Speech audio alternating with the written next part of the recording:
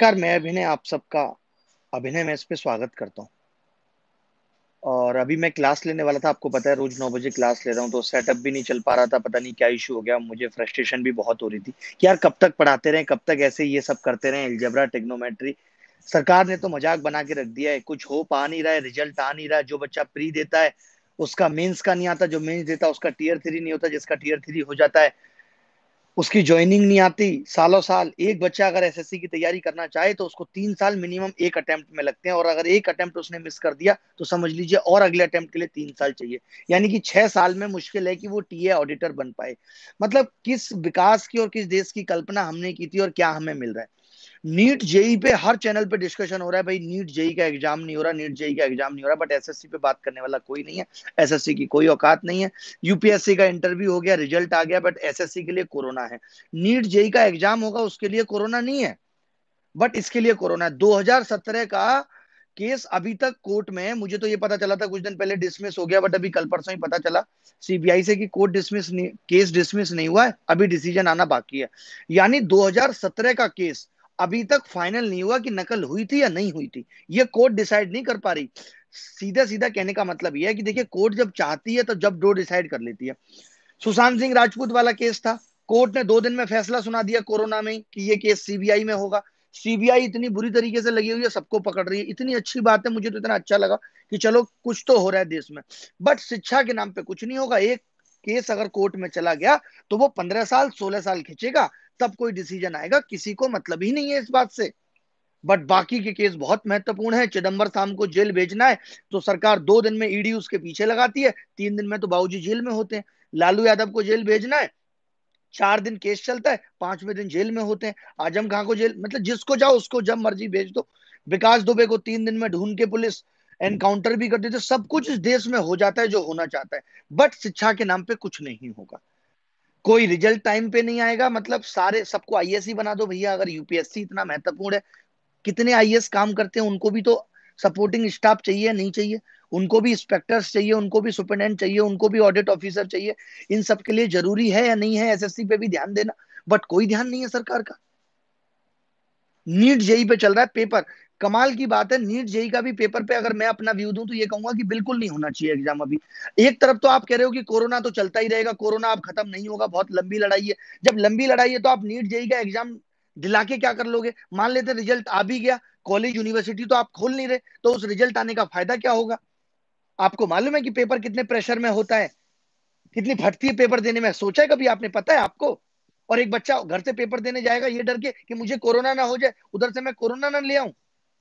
बिना मतलब की चीज़ें देश में चल रही हैं। मीडिया तो इतनी बदतर हो गई है, हर आदमी टीआरपी के लिए परेशान है। मीडिया तो छोड़ दो, हम लोग मीडिया को गाली देते हैं, आप बाबाओं को देख लो। आजकल के बाबा पूरे दिन अपने भाषण में बस अपना बेटा, आजकल के बेटे ऐसे हो गए हैं, आजकल की बहुएँ ऐसी हो गई हैं। बस यही सब कहानी बकते हैं और एंटरटेनमेंट कर रहे हैं। सारे बाबा, आप किसी बाबा का भाषण सुनिए। उनको भी टीआरपी चाहिए, उनको पता है कि हमारा भाषण सुनने वाले तो बूढ़े माँ बाप है, उनके मन की जैसी बातें नहीं बोलेंगे तो कैसे वो हमारा चैनल देखेंगे? हर आदमी टीआरपी टीआरपी यूट्यूब पे देख लीजिए। पढ़ाने वाले कितने लोग हैं? गिने चुने दो चार लोग हैं पढ़ाने वाले। पढ़ने वाला बच्चा भी तो नहीं है, पढ़ने वाला बच्चा है बीस तीस हज़ार। बट अगर कोई टीचर खेल दिखाने आ रहा है दो चार बार महीने में एक बार तो भीड़ लग जा रही है तो वही सारा सीन है कि पढ़ने वाले भी लोग नहीं बचे, जो पढ़ने वाले हैं, उनके लिए सरकार नहीं बच्चे का भी इंटरेस्ट कब तक आप डेवलप करोगे? होगा ही नहीं डेवलप भाई, अब हम पढ़ाते रहे, या कोई और टीचर पढ़ाता रहे, पढ़ाने के फ़ायदे क्या है? बच्चा अपना पंद्रह सौ लगा के कोर्स भी खरीद रहा है, दो हज़ार लगा के माँ बाप से पैसे भी ले रहा है, लेकिन होगा क्या? कुछ भी नहीं होना उसका। क्या करें फिर? रोड पे बैठ जाए सब?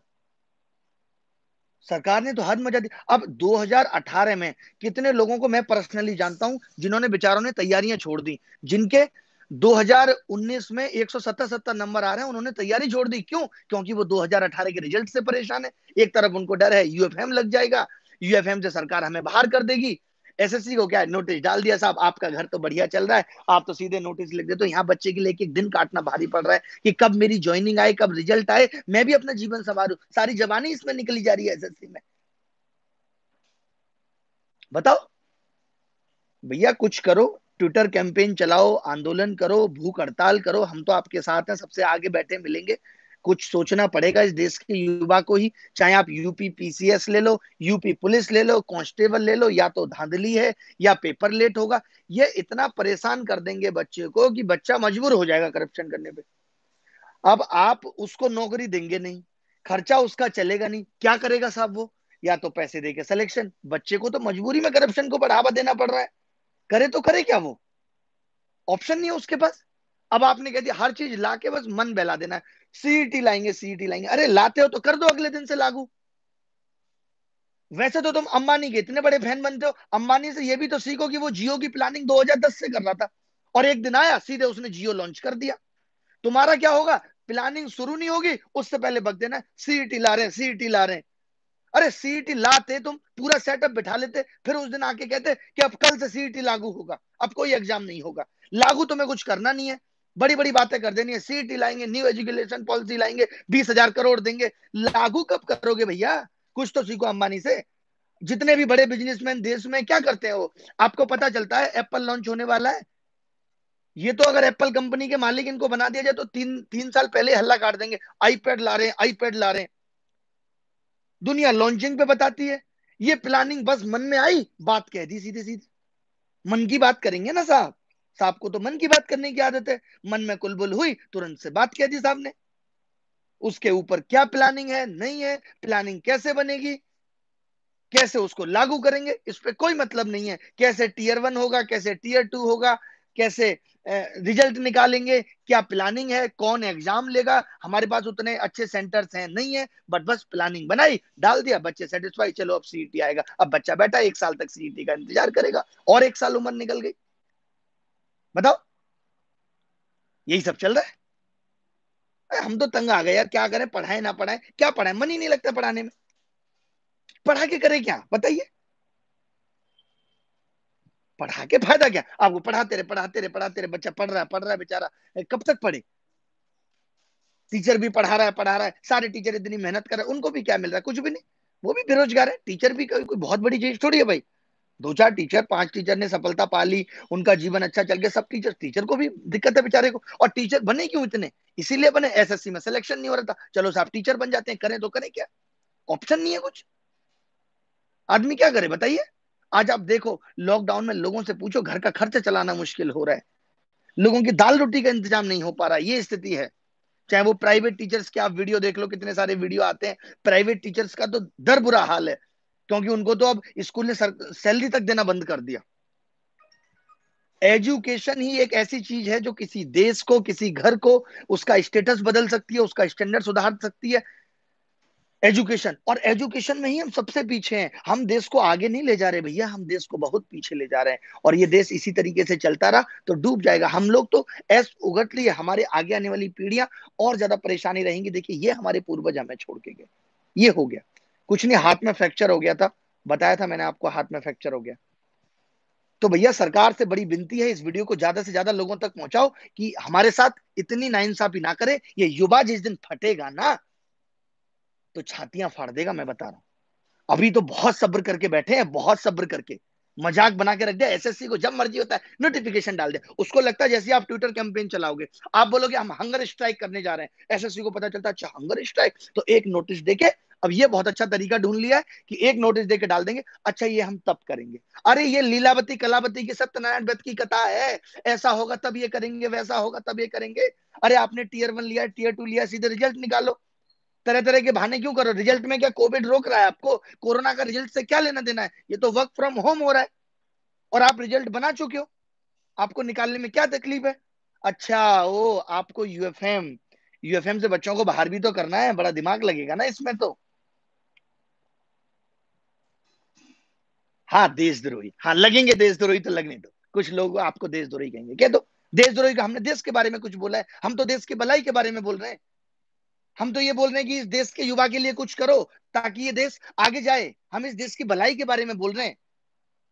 कि युवाओं के बारे में भी सोचो। चालीस लाख लोग एसएससी का पेपर दे रहे चालीस लाख, पचास लाख लोग। इनके भविष्य से क्यों खेल रहे हो भैया? वैकेंसी तुम बढ़ा नहीं रहे। अब तुमने सीईटी कर दिया बैंक रेलवे सबको कंबाइन कर दोगे, उसके बाद क्या कहोगे? अब चार हज़ार वैकेंसी है। अब बच्चों को चार हज़ार भी बहुत लगेंगी। सीईटी कह देते तो ये भी कह देते, सबकी वैकेंसी कंबाइन करके पचास हज़ार मिनिमम वैकेंसी रहेंगी। कुछ ऐसी खबर भी ला दो युवा के लिए, या उसके दिल पे ही छुरा घोंपते रहोगे। वही मैं कह रहा हूँ ना, देश नहीं बिकने दूँगा बट खुद सब कुछ बेच दूँगा। आईआईटी बेच दूँगा, ये बेच दूँगा, वो बेच दूँगा, ये प्राइवेटेशन कर दूँगा। कुछ कंडीशन भी रख दो। प्राइवेटाइजेशन होगी तो इतने लोगों को नौकरी देनी पड़ेगी और सरकारी नौकरी की तरह नौकरी देनी पड़ेगी।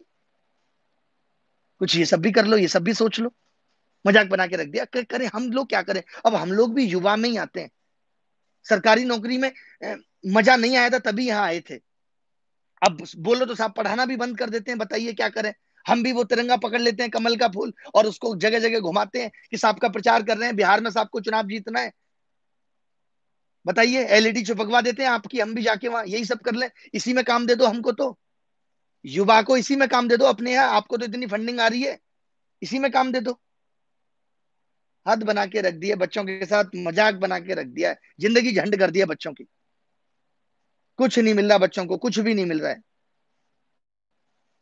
अरे, हम कोई विरोधी नहीं है। हम इस बात के विरोधी हैं कि एजुकेशन पे भी भैया सोचो। कभी मन की बात में युवाओं के लिए भी दो चार बातें कहो। कि मैं ये करूँगा। मुझे अपने देश के युवाओं की चिंता है। मैंने सोचा है कि मैं आगे आने वाले साल में दस लाख युवाओं को नौकरी दूँगा।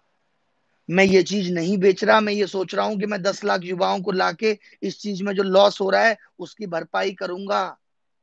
मैं आलतू फालतू पैसा खर्च नहीं करके इसको देश के विकास में लगाऊँगा, सही में ये सब मैं करूँगा, ये सब बोलो तो सही। अगर नकल हुई है, कुछ हुई है तो मैं सीबीआई से जाँच करवा के within thirty days within forty days इस पे निष्कर्ष निकलवा के लोगों को कड़ी से कड़ी सजा दिलवाऊँगा। कोई धांधलेबाजी नहीं होगी, कोई एक आध ऐसा वादा तब करो साहब। परेशान कर दिया आपने बच्चों को, लोग मर रहे हैं। आप देखो कितने टीचर सुसाइड कर रहे हैं, कितने बच्चे सुसाइड कर रहे हैं। कभी ये सब भी खबरों पे बात करो। कभी पुलिस भर्ती आती है तो उसमें ये हो गया, ये भर्ती आई, उसमें ये हो गया।